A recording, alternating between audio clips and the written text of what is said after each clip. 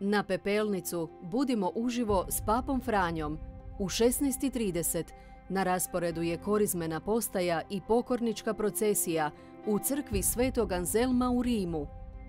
U 17 sati u bazilici Svete Sabine papa će slaviti misu s pepeljenjem.